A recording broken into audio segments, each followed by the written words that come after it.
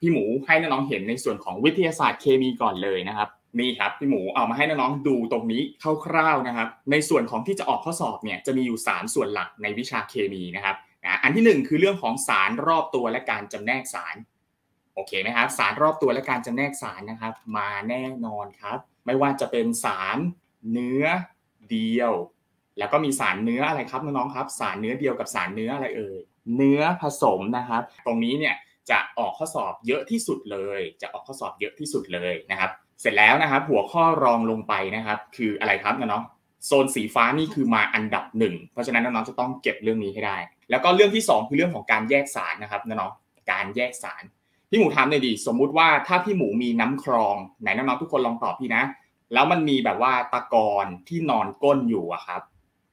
มันมีตะกอนนอนก้นน้องๆคิดว่าน้องๆจะแยกตะกอนออกจากน้ำทํำยังไงได้ครับ ถ้ามันมีตะกอนนอนก้นอยู่ในของเหลวน้องสามารถแยกสารด้วยวิธีไหนครับ เก่งมากๆครับน้องๆทุกคน เพราะฉะนั้นถ้ามันมีตะกอนนอนก้นเนี่ยน้องๆเอาไปทำการกรองครับ พี่หมูถามว่า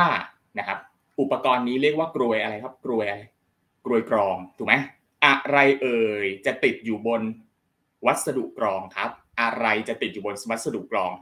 ระหว่างตะกอนสีแดงๆกับน้ำสีน้ำเงิน อะไรติดอยู่ข้างบนครับ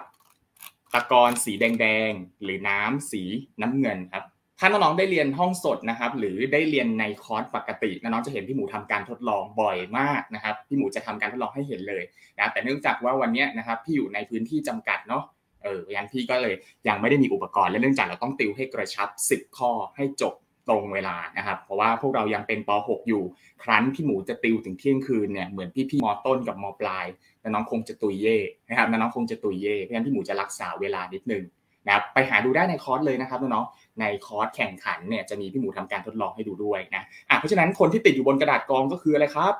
ก็คือเป็นตะกอนถูกไหมครับน้องๆแอนตะกอนเนี่ยที่เป็นของแข็งก็จะติดอยู่ข้างบนถูกไหมครับ แล้วก็ น้ำที่เป็นของเหลวก็จะไหลผ่านกระดาษกรองลงมาข้างล่างได้นั่นเองนะครับ เนี่ยคือวิธีเบื้องต้นครับพี่หมูถามนิดนึงดิน้ำโครนหรือน้ำคลองที่มันมีการตกตะกอนเราเรียกว่าสารประเภทอะไรครับอ่านะครับ เราเรียกว่าสารเนื้ออะไร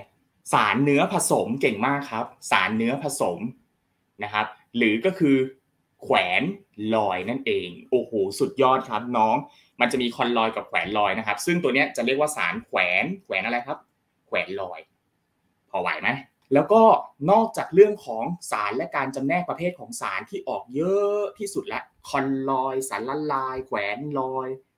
สารบริสุทธิ์ สารไม่บริสุทธิ์แบบเนี้ยเรื่องถัดมาก็คือการแยกสารใช่ไหมครับเป็นอันดับที่2 และอันดับที่ 3 ครับน้องๆใครออกเนื้อหาเป็นอันดับที่ 3 ก็คือเรื่องของวัสดุครับ เวลาน้องๆออกเนื้อหาเกี่ยวกับเรื่องไปสอบเกี่ยวกับเรื่องของวัสดุเนี่ยเขาก็จะให้น้องๆทุกคนสอบเกี่ยวกับเรื่องของสมบัติใช่ไหมเช่น ใครแข็งกว่าอ่าใครแข็งกว่าใคร สมมุติพี่หมูบอกว่าอ่าใครแข็งกว่านะนะสภาพนะครับสมมติพี่มีของแข็งที่ชื่อว่า AN นะครับกับ B boy อ่าถ้าพี่เอา AN กับของแข็ง B boy มาขูดกัน เอามาขูดกันนึกออกปะเอามาขูดขีดกัน ปรากฏว่าของแข็ง B เป็นรอยน้องๆคิดว่า A กับ B ใครแข็งกว่าครับ เอา A กับ B มาสูสีดูดีกัน ปรากฏว่า B เป็นรอยครับน้องเออ B เป็นรอย เพราะฉะนั้นพอ B เป็นรอยปุ๊บถ้าพี่หมูถามว่าวัสดุไหนแข็งกว่า เก่งมากครับน้องๆเป็น A ที่แข็งกว่าครับ เพราะอะไรครับ เพราะ AN มัน